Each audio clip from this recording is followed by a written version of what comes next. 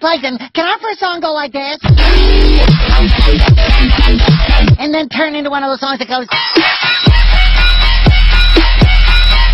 Yes, perfect.